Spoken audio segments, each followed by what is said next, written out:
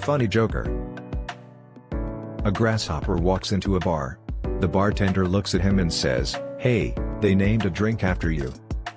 Really? replies the grasshopper. There's a drink named Stan?